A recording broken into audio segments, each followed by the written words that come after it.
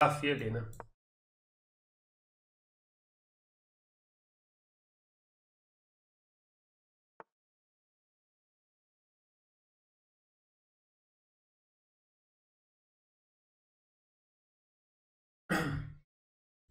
É, tem que mandar o desafio, viu?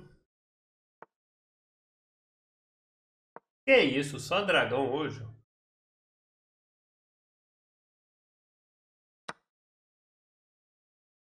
Hum.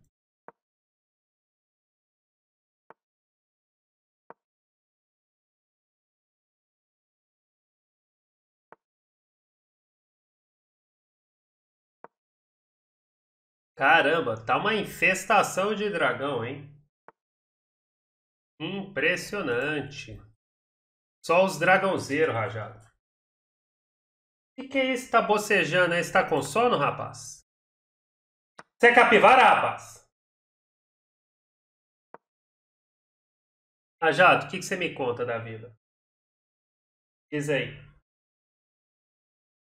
Diz aí, Rajado.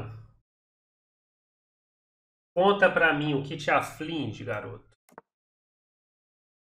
Hã? Quero saber.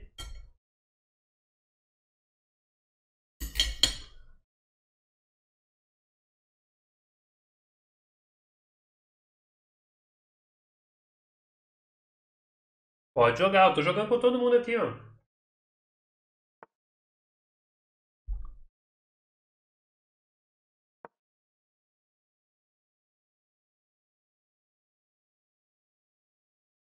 Uai, como assim você tá vendo anúncio talent? Estranho? Não era pra tá vendo, né? A Twitch tá mudando a regra dela?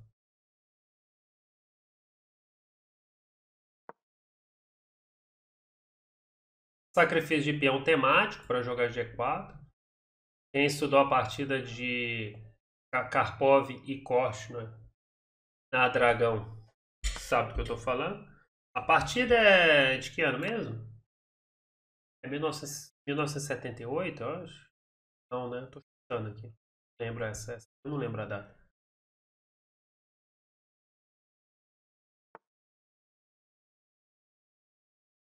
4 aqui temático.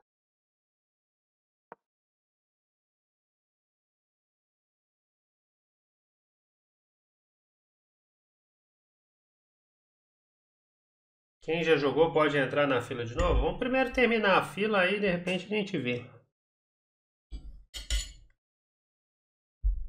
Para poder jogar com todo mundo, né?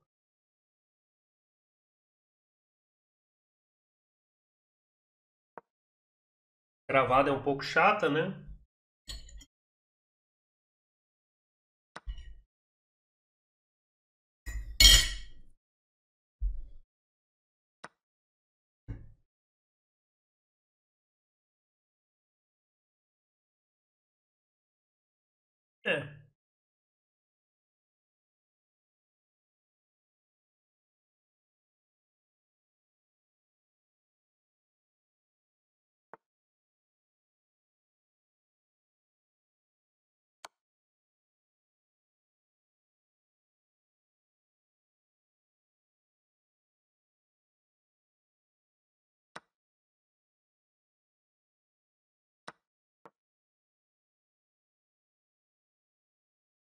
É uma peça, né?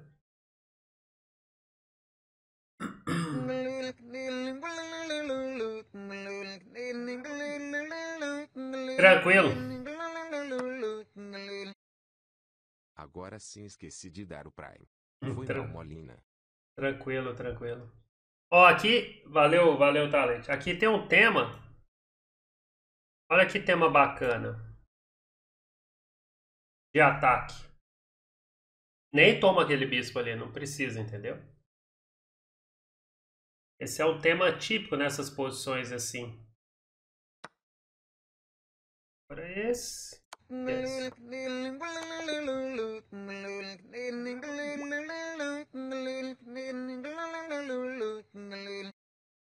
Mestre, quanto de ratinho online você acha que o cara tem que ter pra não fazer muito feio no primeiro torneio presencial? Hum, quanto de rating. Ah, isso é muito relativo, mano. É... Porque, tipo assim, primeiro, o que, que é fazer feio? Eu, eu acho assim, às vezes o pessoal se cobra muito em relação ao primeiro torneio de xadrez, cria-se toda uma, uma, como é que chama, uma neurose, né? Nossa, eu vou jogar meu primeiro torneio de xadrez, eu tenho que... Cara, você não tá indo disputar o campeonato mundial, não. Vai lá, joga, relaxa. É, o resultado que, que acontecer, ele provavelmente, ele... É, ele é fruto do seu treinamento, entendeu? Ou falta de treinamento, né? Se a pessoa, tipo assim, não estiver treinando muito, aí, é... aí provavelmente ela não vai ter um resultado muito bom, né? Mas essa questão de resultado bom e ruim é relativa, né? Às vezes o que é um resultado bom para um, para um, outra pessoa considera ruim, então não sei. Vocês se preocupam muito com o tipo, pessoal, pessoal às vezes endeusa muito essa questão de, de hate, essa questão tipo assim, ah, eu tenho que ir no campeonato e ganhar todas, ou tem que fazer bonito, entendeu? Cara, xadrez é o seguinte: você vai no campeonato, os pontos que você fizer eles vão ser proporcionais geralmente ao seu treinamento diário. Entende? Ponto final. Se você estiver treinando bem, é fazendo, sei lá, aula com alguém, estiver lendo livros de xadrez bons, bons livros de xadrez, estiver com uma prática regular e sadia, partidas de 10 minutos, por exemplo, estudando as suas partidas, você vai chegar no campeonato, você vai ter um bom resultado. Agora, se o cara não estudar nada, se o cara ficar só jogando ping na internet o dia inteiro, se o cara não estudar as próprias partidas, não estudar os campeões mundiais, não tiver um treinamento de cálculo frequente, aí, meu irmão, só Deus sabe. Bem, vamos ver essa partida, o que, que deu de errado. Ó, mais uma vez, fizeram o erro que eu citei anteriormente. Até aqui estava certo. Mas aqui o lance principal é D6, né? Quando você joga E6, isso eu expliquei ontem. Se não me engano, na partida... Quem que foi que eu estava jogando? Ontem eu expliquei. Aconteceu isso. É a variante queijo suíço, né? Eu não lembro contra quem. É... Foi contra o Romerito, eu acho. Ontem eu joguei com o Romerito, alguma coisa assim. Ou foi, eu não sei se foi com o Romerito ou outra pessoa. É, você enfraquece muito as casas pretas. Então não foi o Romerito, foi outra pessoa. E aí o problema é que depois fica muito fácil de eu perambular com as minhas peças nessas casas pretas. Jogadas como cavalo B5 e cavalo D6. É, eu fiz o trivial aqui. Aqui inclusive gerou o peão isolado, né? Dubov tem até jogado um sistema parecido com esse, mas não é o melhor, viu? Assim, o Dubov ele pode jogar qualquer coisa porque ele é o Dubov, né? E não é exatamente essa hora. Joguei CH5, sacrifício temático aí, a lá Karpov Korchnoi. Uma das partidas mais bonitas da carreira do Karpov até.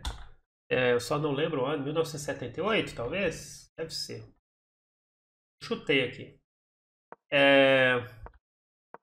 E aí é muita casa, muita casa preta fraca, entendeu? É, dificilmente ainda caiu o peão isolado também, né? Diga de passagem, né? É complicado aqui. Você tem que ajeitar essa dragão, olha. A dragão, até onde eu sei, ela não combina com essa jogada. Joga D6 aqui. É o lance mais apropriado aí.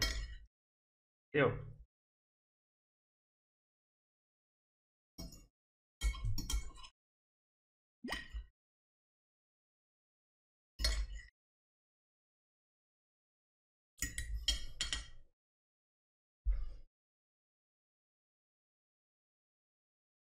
E aí, Maia com xadrez, é nós.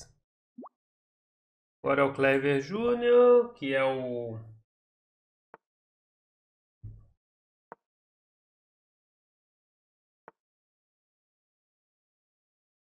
Jogar lapinha.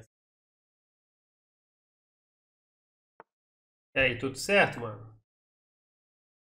Ó, essa daqui vai virar uma francesa rajada. Olha aqui. Rajado.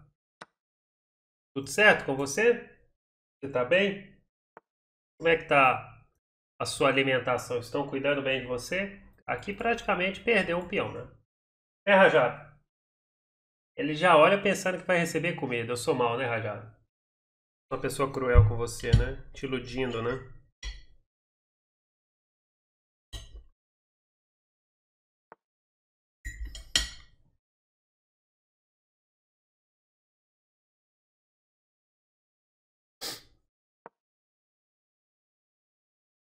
Francesinha, né? Só que com bispo fora da cadeia, né?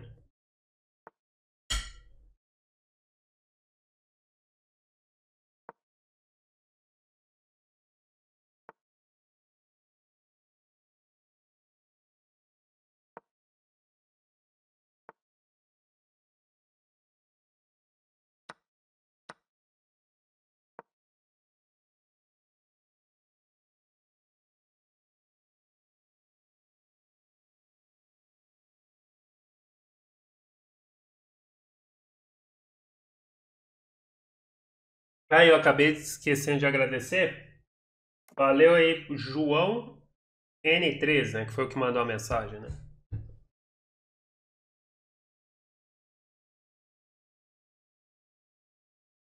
Eu posso tomar aqui. Não vejo problema.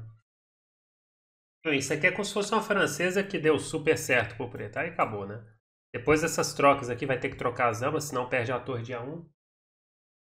Aí já, já era. Rolas, no chess.com tem muito cara que usa engine. Não só no chess.com, na internet em geral, né? Geralmente são pessoas frustradas aí com o próprio nível, aí elas têm que maquiar algo que elas não alcançam, né? Tipo assim, a pessoa ela não quer estudar xadrez e quer passar a impressão de que é um super jogador sem ser, né? É, é apenas uma ilusão, geralmente. Eu acho que, na verdade, são pessoas que precisam de se tratar, viu? Pessoa trapacear no xadrez, algum probleminha ela tem. Mas tem tem no chess.com, tem no Lichess, tem no. sei lá.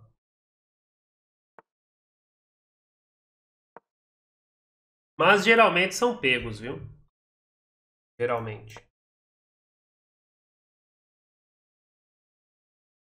Não dura muito, não.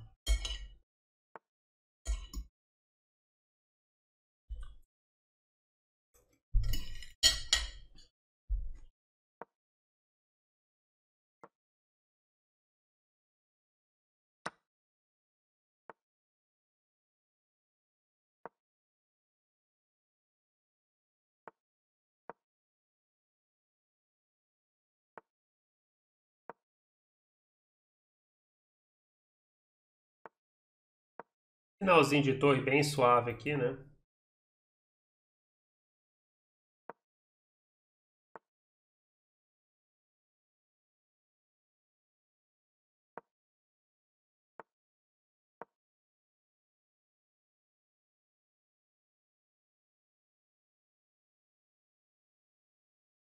que, que a tá aprontando aí, Pri?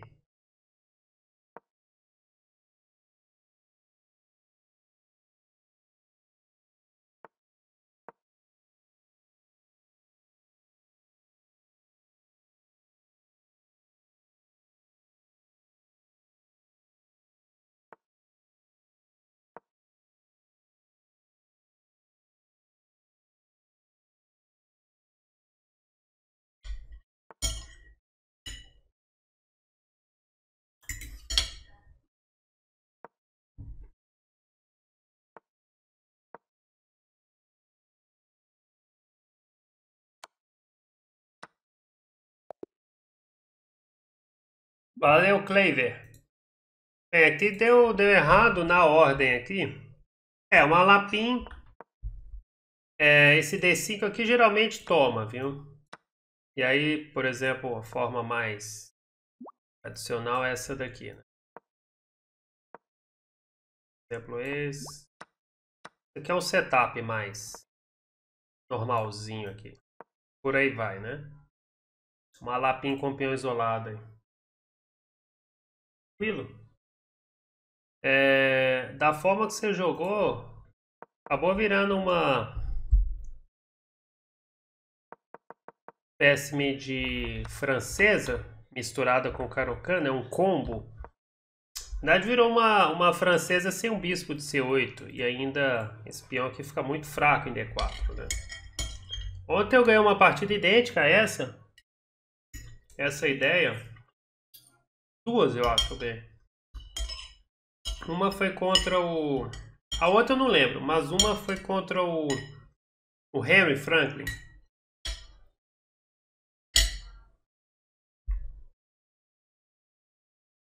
E aí acabei entrando pelas casas brancas e tal, né? Outro Henry, eu cheguei a fazer uma ideia assim e tal, e saiu tudo ali. É... Essa posição é muito confortável jogar de, de preto, porque geralmente a gente está com esse bispo preso na francesa normalmente, né? Com ele solto e cravando o cavalo, só o simples fato dessa cravada existir, uma cravada relativa que é na dama, já torna esse peão extremamente vulnerável, né? Fica com problemas defensivos aí.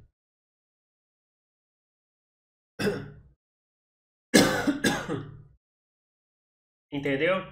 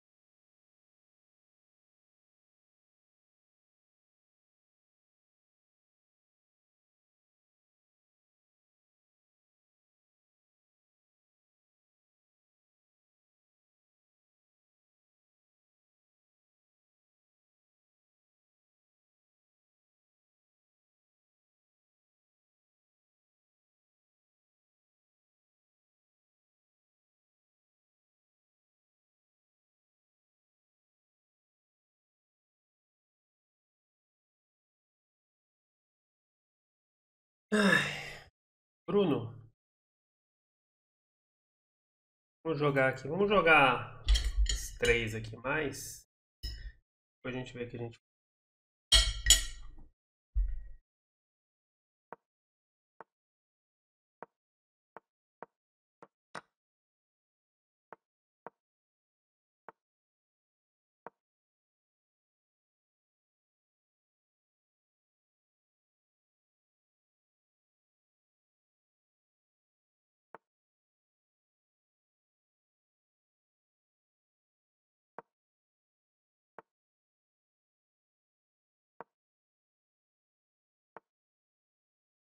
É, a francesa tem inúmeras linhas. É...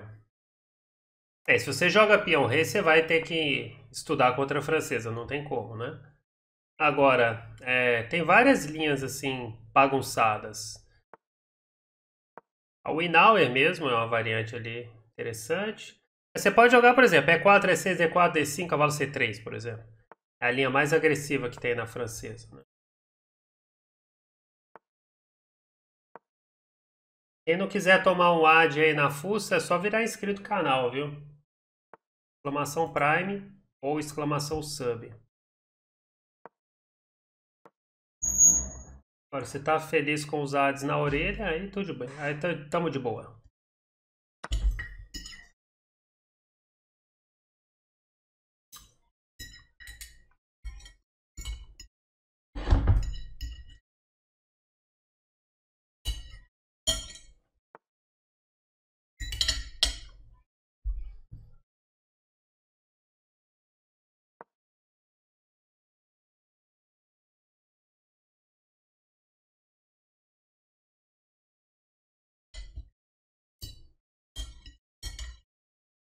Eu acho que eu terminei o almoço aqui oficialmente.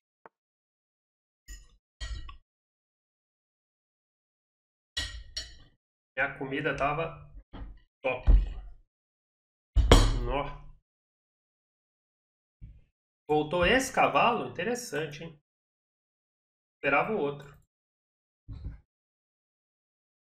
Ai, ai. Que belíssima alimentação, Priscila.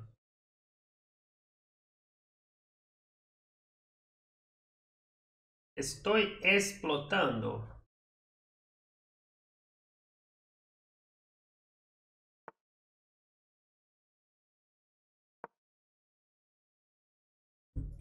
Poderia ter tomado, né?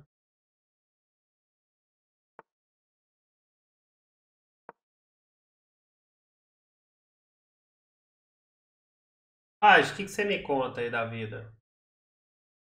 Com essa roupa sua estilosíssima. Você me conta. Hein, Rádio? E que você... Ó, o Bruno aí tá... Uh, só foi elogiar.